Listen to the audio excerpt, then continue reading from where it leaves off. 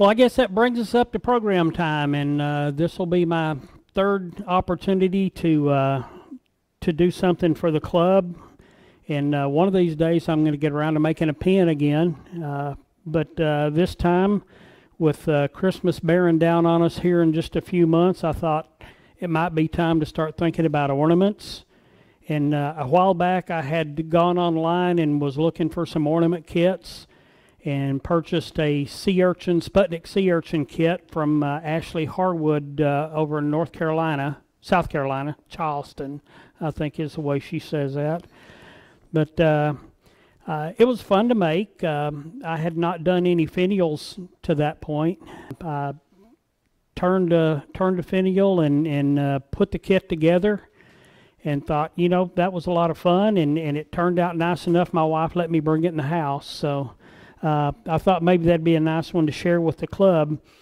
And uh, last time we went to uh, to the coast, we went to Rockport, and we were milling around the seashell shops, and uh, I found a bunch of sea urchin shells.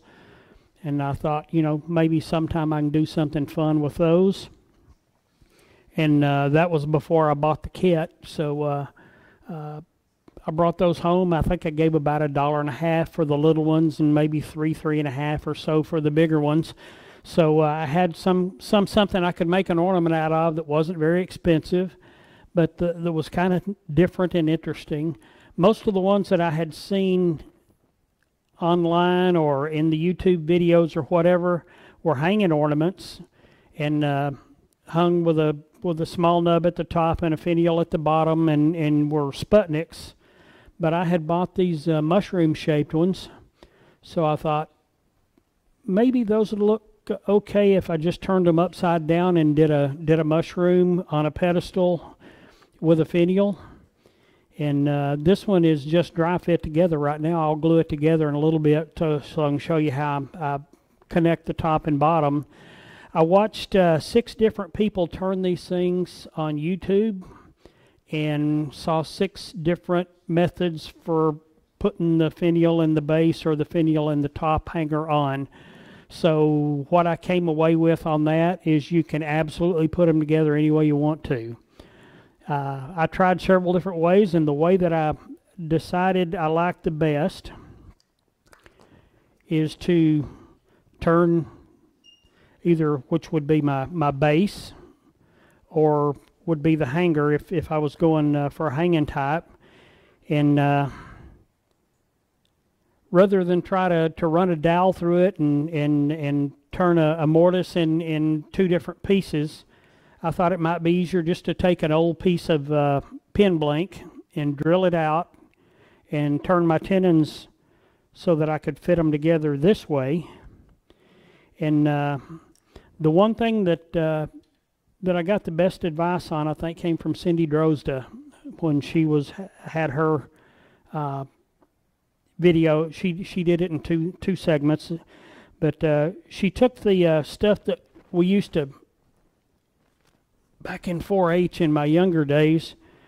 We used to do all kinds of craft projects, and this Mod Podge uh, was what she used. But what she does is she coats the inside of the of the shell with Mod Podge because they're very, very thin. And if you get something on the inside that's good and thick and let it dry, it gives them a lot more durability and sturdiness. Uh, one thing about Mod Podge is it dries clear. So I just coated the outside too, and it gave it a nice shiny exterior. Now on these mushroom type sea urchin shells, they come in various colors and, and they react to the seawater and this one has a lot of natural purple in it. My other one's kind of a seafoam green, uh, but I thought this one was, was kind of cool, so I used it to to make one of my first ones. And then uh, when it came time to put it together, I just dropped that over there and, and set that right back in. And like I say, I'll glue that up in a little bit. But uh, that part was simple and easy, but I'll go through the turning process now. So the, the urchin shell, you buy, you don't have to do any prep on the outside or anything for it? Uh, I'll pass this one around. But uh, I just put the Mod Podge on the inside of that one. It's the Sputnik type. Looks like a Russian satellite, I guess. Is why they call them Sputniks. But when uh, when I started uh, working on it, I knew I was going to need to round out the hole in the top and the hole in the bottom. So I took a little chunk of walnut that I had in the shop and, and turned a little uh, a little cone with a number two Morse taper, and then I just set it on my in my lathe and, and started it at about 250 RPMs. And uh, well, before I did that, I I got just some some about uh, 120 grit sandpaper and cut three little triangles out and glued them on there with uh, some Titebond and just taped around it until it dried about 30 minutes. And I had me a, a good sanding tool. But uh, by having a cone, I was able to, to go in and, and turn uh, the top hole and the bottom hole and get them chamfered just a little bit so that uh, when you drop your, your finial, finial in there, uh, it's going to give you a little bit, a little bit more consistent, tighter finish. But uh, I'll pass that around if anybody wants to look at it. It's pretty rudimentary and simple, but uh, I was proud of myself. It looks at least as good as Cindy Drozdas did, and she made the point uh, that uh, they definitely don't have to be pretty to work.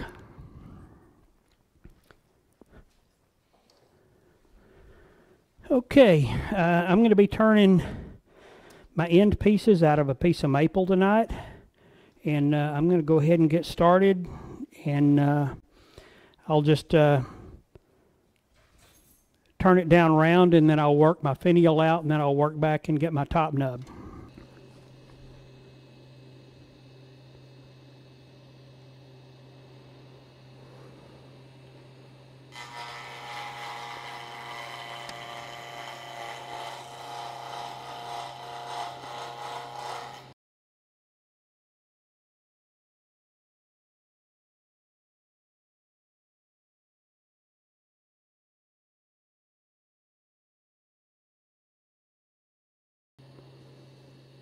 Getting close. Some people might think it's a little sacrilegious to use uh, carbide on nice soft wood, but it sure does make it easier to do some aggressive rounding cuts.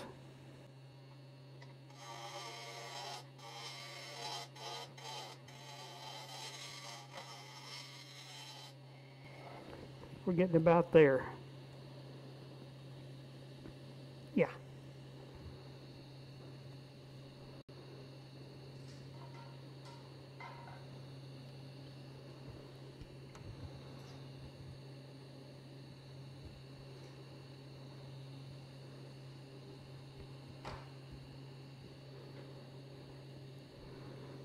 I've got a Nova Teknatool lathe at home and my handle for my tailstock is on the end of it so I always have a hard time finding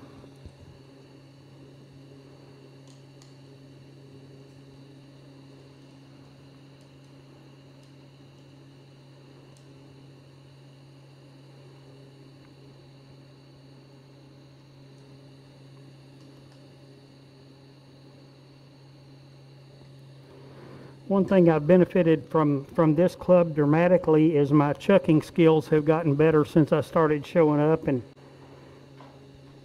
but I still like to use a little tailstock support just to to make sure. I'm going to go ahead and uh, and start narrowing down to the larger opening on my, my sea urchin which that's why I brought a couple of pairs of calipers so that I could uh, could work that down uh, so that I can drop it in here but still leave a little bit extra on the shoulders so that it'll uh, it'll cover the opening because you never can get these completely perfectly round.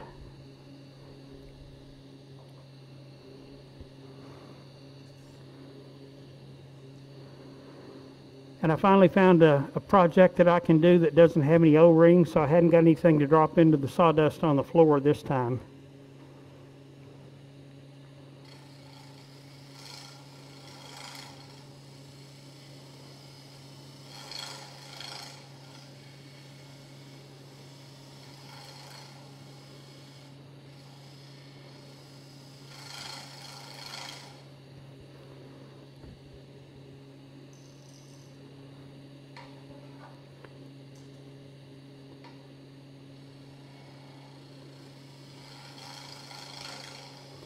This would probably be easier with a parting tool, but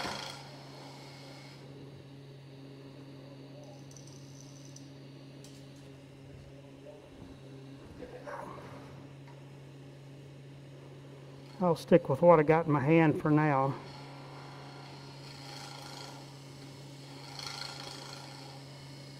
Taking the tool off the wall would imply that I know how to use it, so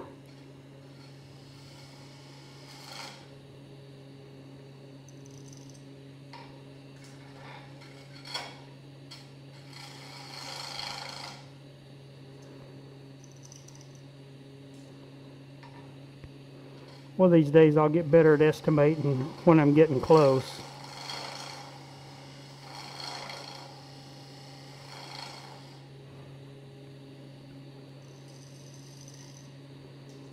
Almost there.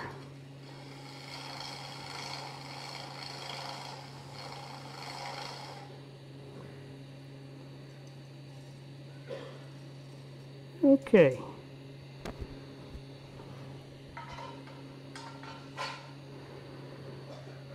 Get my easy wood uh, rough shaper out.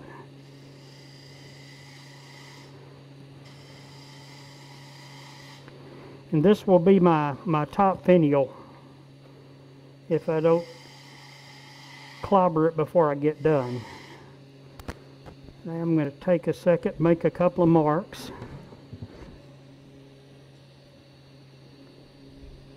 I'm going to take it out about about so long.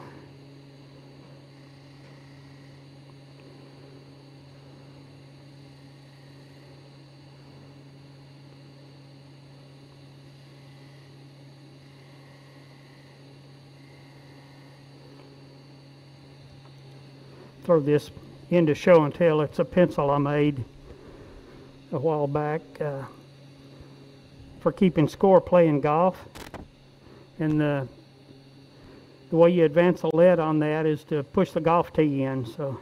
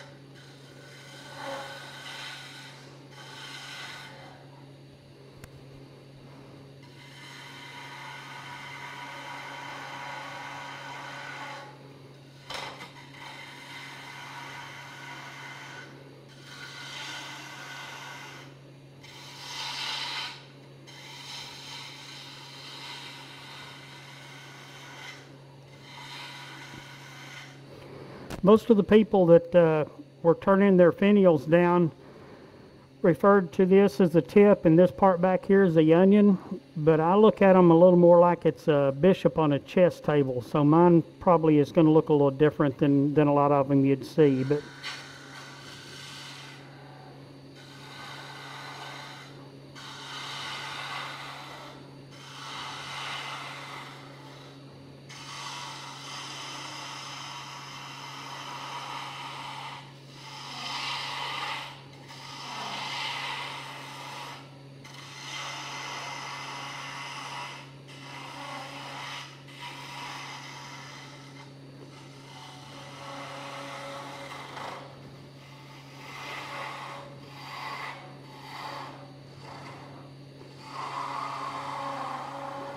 Now, the people on the YouTube videos make this look so easy, but it scares me to death, so.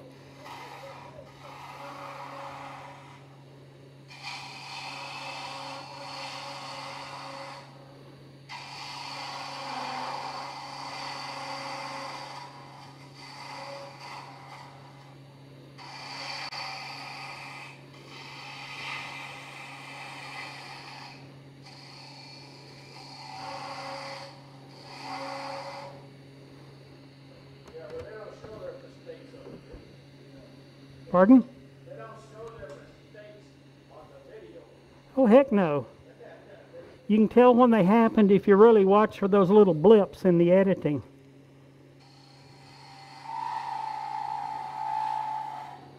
But you can tell the ones that have been doing it for multiple, multiple years because they just act like, you know, as simple as taking out the trash or something like that. But and they talk about, oh yeah, this is what I do with all my little spare scraps in the in the shop. But I went to Rockler and bought a nice piece of maple, so I thought it might be a little better turning.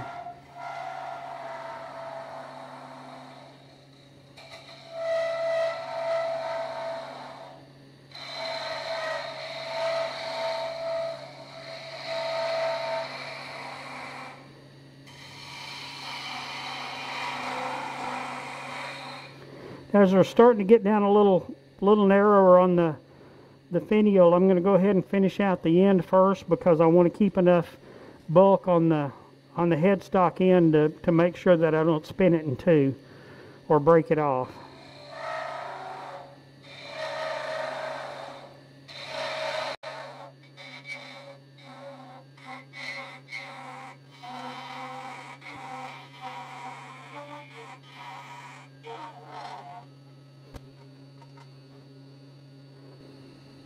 Normally I'd probably have a negative rake uh, cutter on this, but I'm just going to use a, a standard square cutter.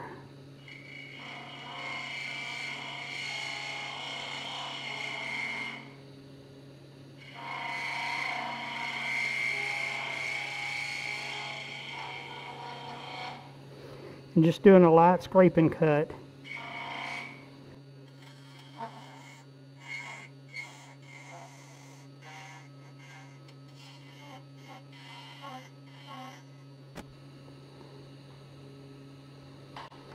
You notice I stop the lathe every time I adjust the, the rest. Shout out to Easy Wood. I picked up a, a set of these uh, little Easy Wood pin turning gouges. Uh, I got a, a square one, a round one, and a diamond shaped one. And uh, they sure do make this fine work a lot easier.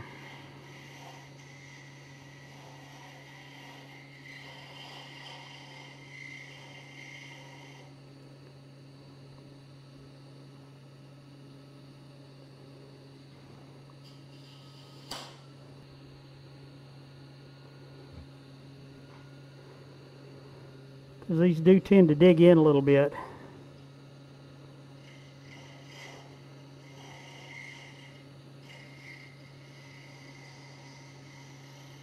Much nicer.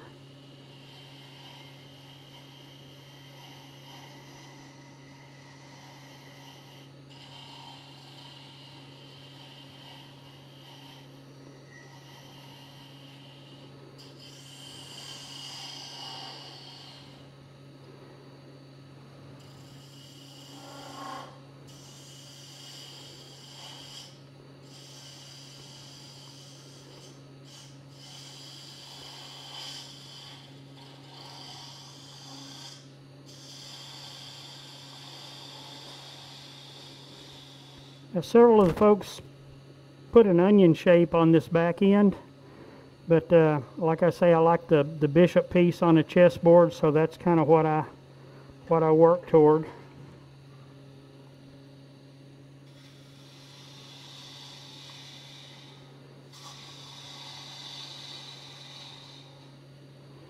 And I do leave a little chamfer on this back side so that it'll nest into the to the sea urchin.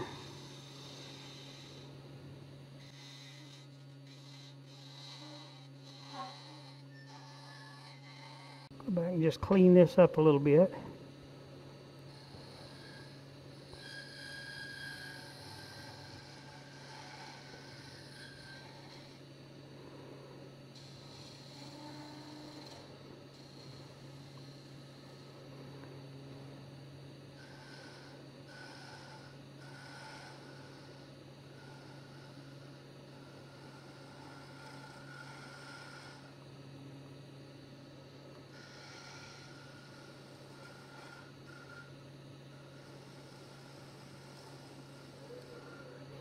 Want to get down to holding my breath.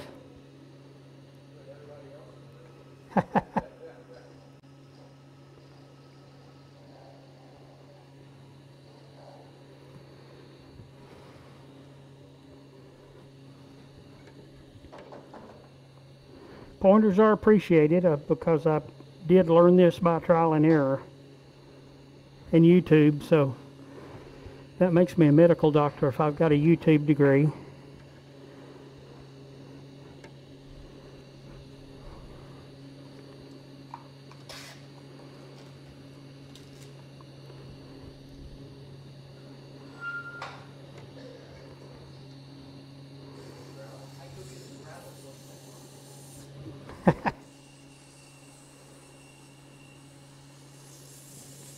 One thing nice about this maple, it's nice and soft to sand, so you don't have to to get too aggressive with it.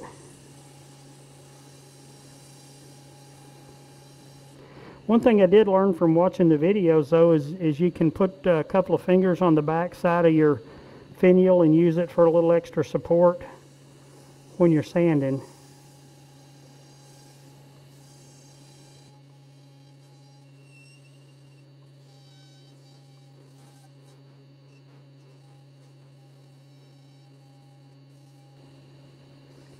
Get out of there with the sandpaper. I'm not going to be quite as afraid of cracking my, my finial.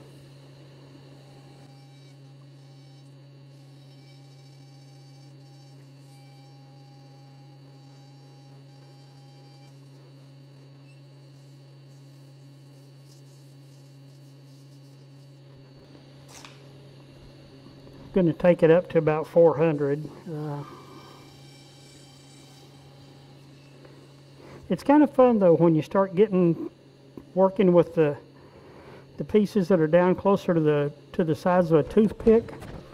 It's a little bit scary and and uh, a little bit exciting, but uh, you know you can figure on breaking three or four or five of them before you get the hang of it. But once you do, it's kind of fun.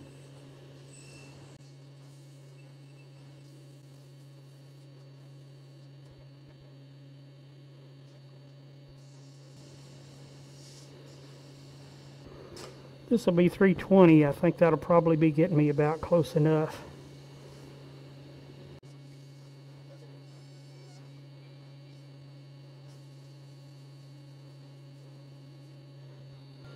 I did actually bring a parting tool.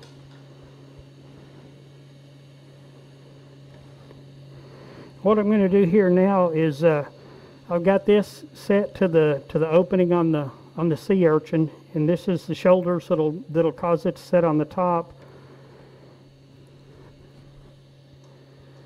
Here's my little uh, little stump from a from the end of a pin blank, and I've got my caliper set, and I'm just going to turn a little tin, turn it down to a little tenon right here, and then part it off.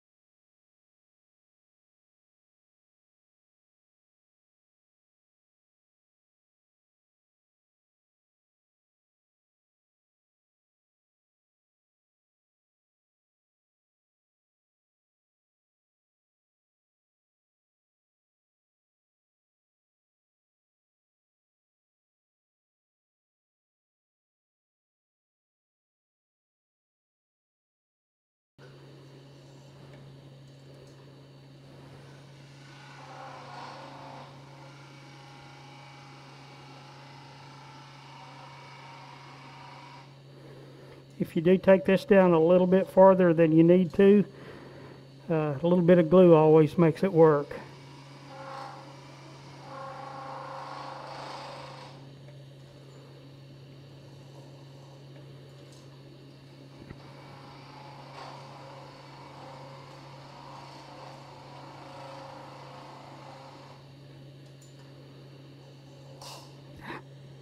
Good. To put a little little finish of some kind on. When uh, Rebecca was here and, and uh, turned her goblet, she, uh, I think, used Yorkshire grit, but uh, I have uh, Axe abrasive sand and paste and, and uh, polish and restore and wax. They're pretty similar products. Honestly, they're probably almost identical. But uh,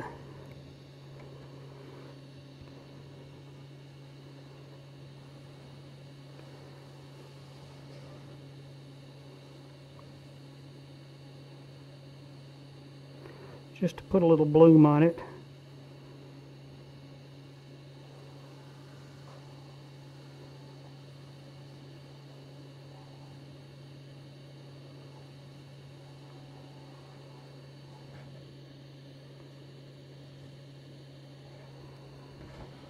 That's better.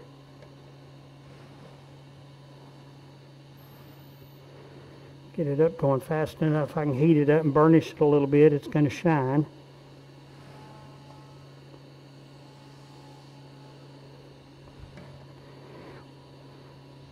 I've had this uh,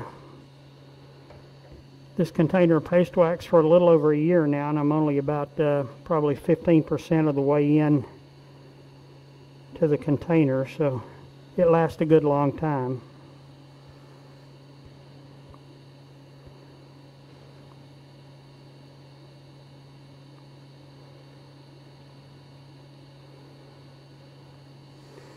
But they use a white white beeswax in their in their uh, finishing uh, wax and it makes it uh, kind of an all natural organic type product with without any additions or additives to the to the beeswax. So I kind of like that part of it too.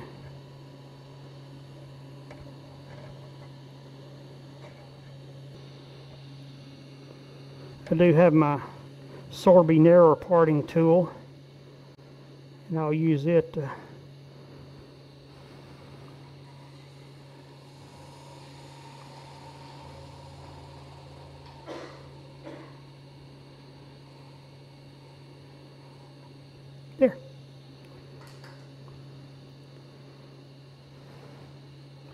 and we've got a fit. So that's part one. The top or the bottom however you want to look at it you can do it different ways and, and like I showed on the uh, on the mushroom one. Uh, since I used ebony for the finial on it I, I didn't have an, a piece of ebony big enough so I went ahead and used a piece of walnut and then sprayed it with a gloss black paint so I got a match there but uh, since I've got this one as an example of a stand-up I'm going to do this one as a hanging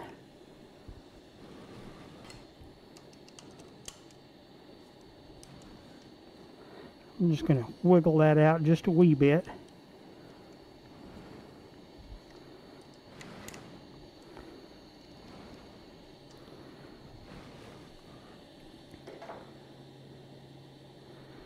And uh, since I'm going to be working toward the uh, toward the narrower, I'm going to have to bring this down. Uh, but then what I'll do is I'll just make a button here and uh, and I'll put an eye hook or an eye screw on the top of it and then and then just bring it down and part it off. It's a pretty simple little button for the top.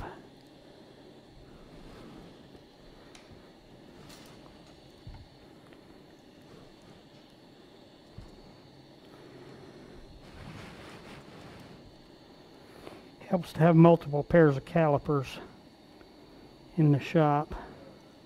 True. I'm not going to get too fancy with this piece, just uh, Just give it a little bit of shape.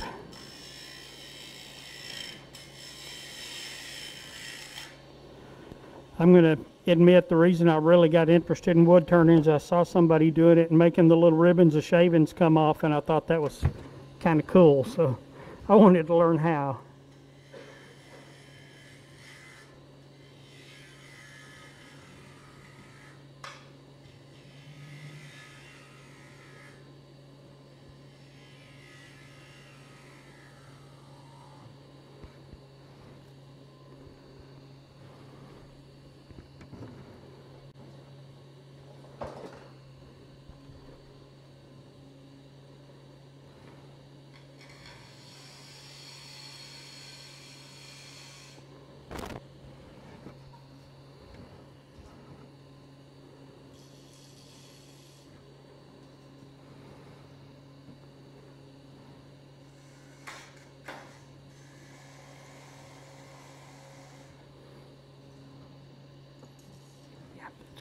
Good there.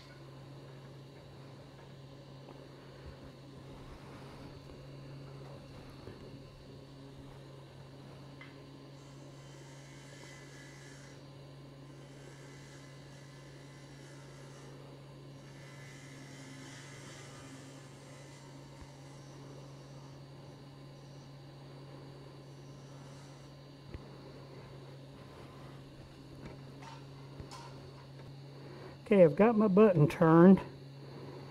And all I've got to do now is just ease it out just a little bit more and turn that tenon down where I can, uh, can attach it.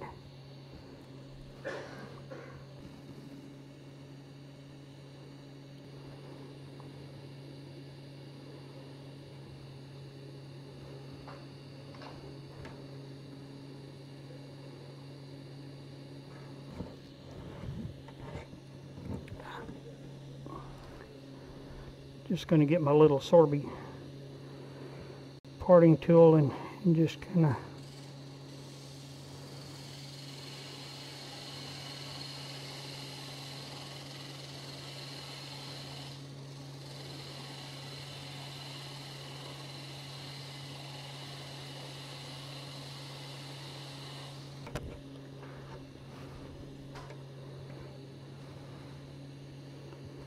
getting close.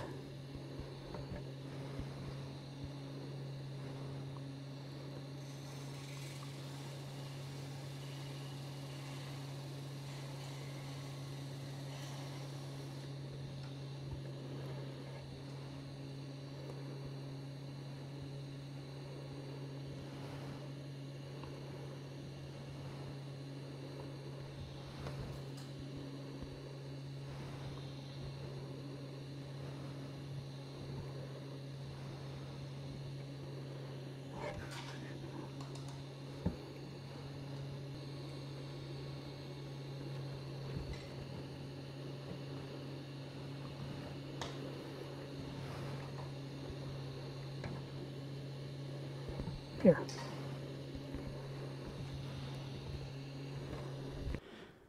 Because we've got it down to, to the putting it together stage.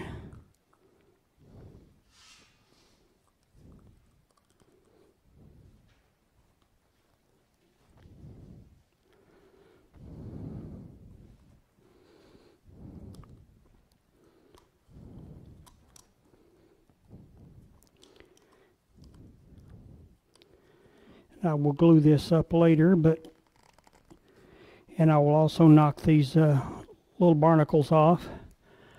But uh, in a nutshell, this is how you you put together one of these. It's just a, a little nub of a little little block of a pen blank.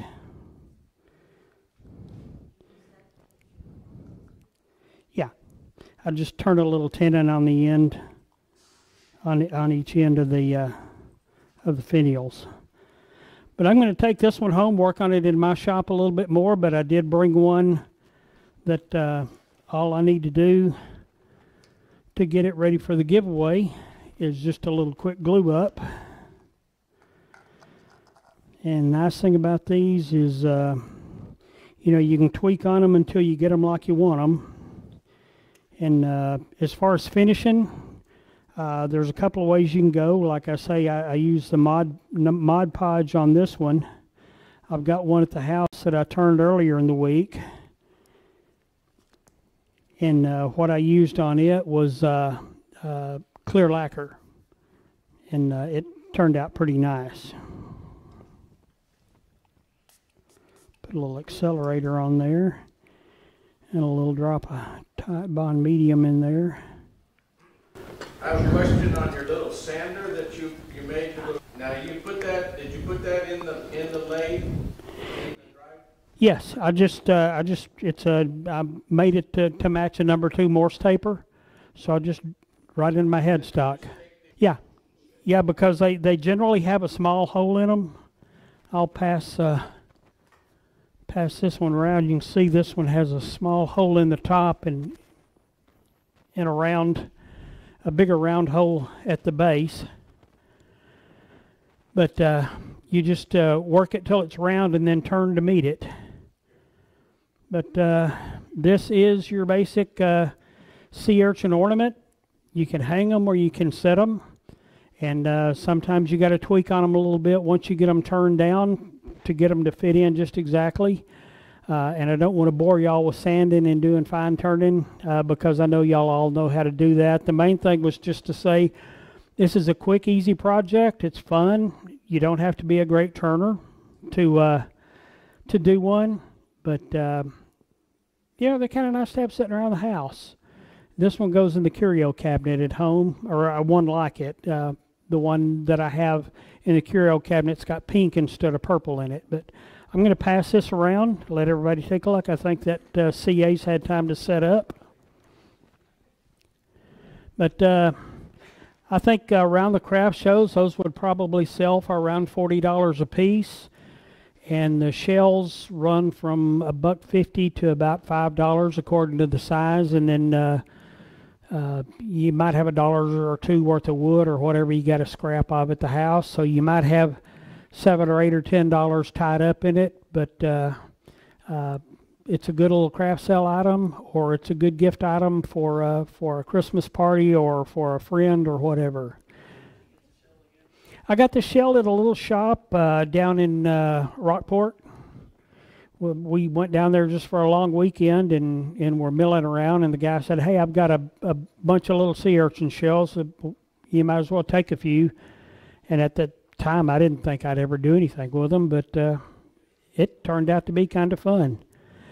Well, I appreciate y'all tolerating my my uh, less than stellar turning skills tonight. Uh, this is uh, this is one that I just have fun playing with, and uh, y'all know me and my shop. I like to make toys and I like to play in my shop, but uh, I, I don't get serious till I get to making pens, and especially on the high end ones. Uh, but uh, again, uh, I like to share my shop, and, and I like to share especially unusual things with my friends here at Alamo Wood Turners Association and the Pen Turners Special Interest Group. And with that, uh, I'll conclude my program. Thank y'all very much.